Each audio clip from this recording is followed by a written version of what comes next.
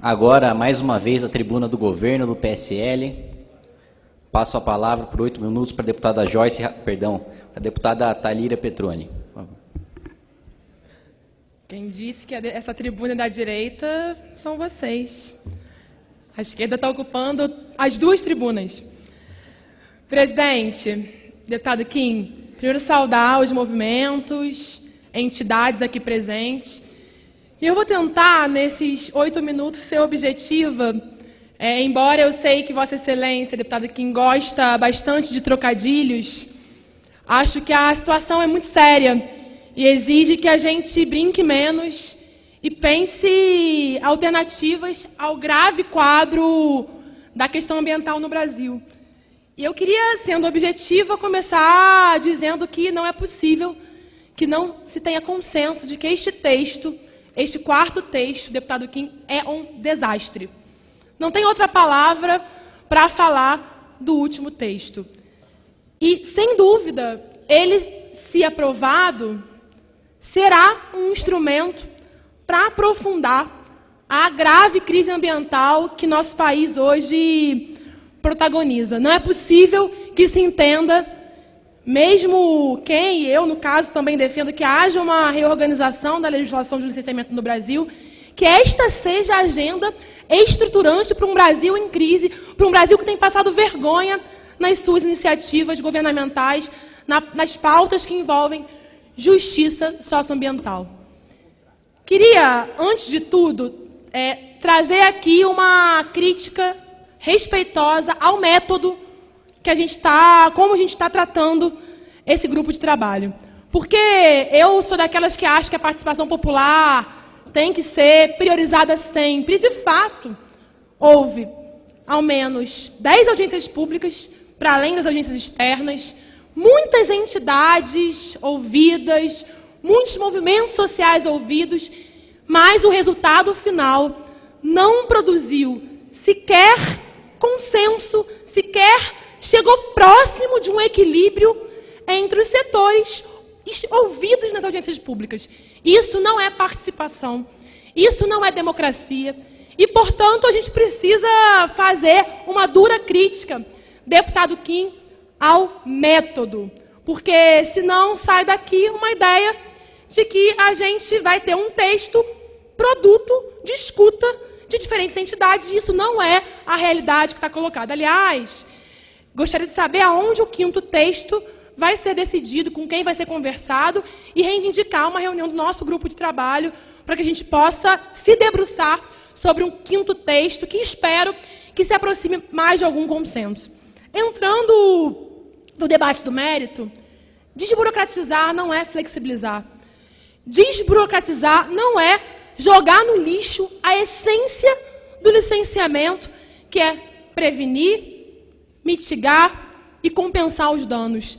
Não há desenvolvimento que tenha o direito de jogar no lixo o principal instrumento hoje da política ambiental brasileira.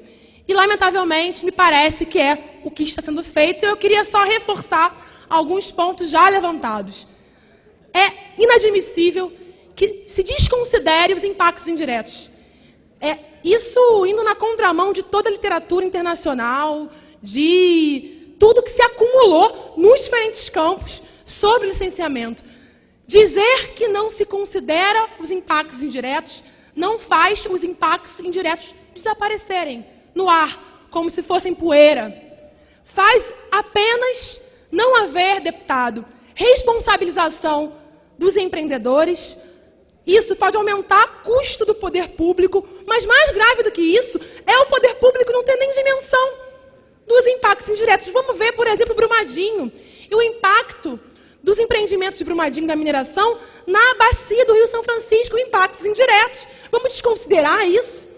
É lamentável, e inclusive para os próprios empreendedores, porque pode causar insegurança jurídica, pode atrasar e demorar mais os procedimentos de licenciamento. Para além, eu vou citar rápido, que meu tempo já está terminando, licença por adesão e compromisso para pavimentação e ampliação de rodovias. E aí, o exemplo clássico, a BR-319, Imagina o impacto do entorno daquela região, que já teve uma ampliação absurda do seu desmatamento.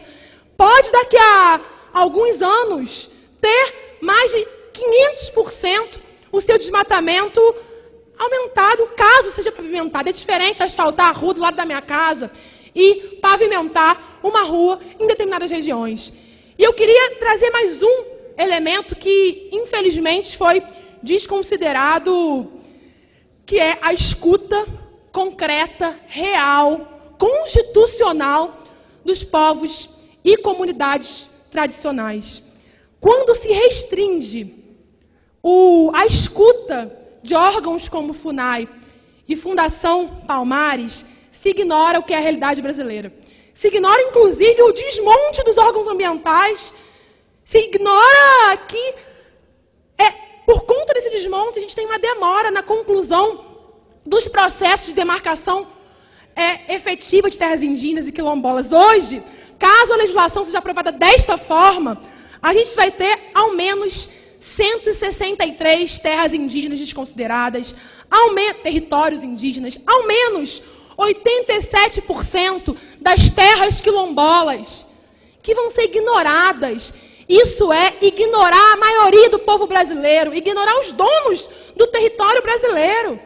Quando se restringe a escuta a FUNAI e a Fundação Palmares. Não é possível que a gente restrinja as terras indígenas com portaria declaratória publicada, com terras quilombolas titulares, isso rompe com a Convenção 69 da OIT.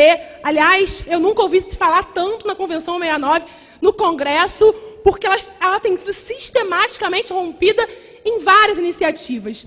Eu termino é, inserindo isso num, num contexto mais global. Não é possível, e eu apelo aos deputados que percebam a realidade que estamos vivendo. Não é possível que, num momento de desmonte dos órgãos ambientais, com cortes, seja no ICMBio, IBAMA, no próprio Ministério do Meio Ambiente, de mais de 190 milhões, que a gente aposte nesta agenda como agenda do Parlamento Brasileiro. É essa a resposta que a gente vai dar para o mundo.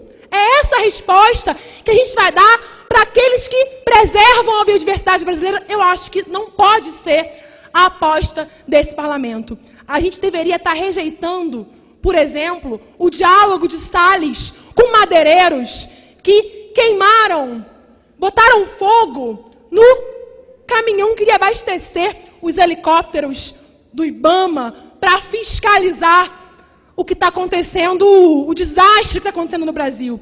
A gente deveria estar aqui é, repudiando o dia do fogo, já avisado pelo Ministério Público. A gente estar aqui apresentando uma agenda de desmatamento zero, uma agenda de ampliação de orçamento para esses órgãos, ao invés, deputado Kim, de lamentavelmente jogar no lixo o que é contribuição, é a ciência, a evidência num Brasil que tem essas marcas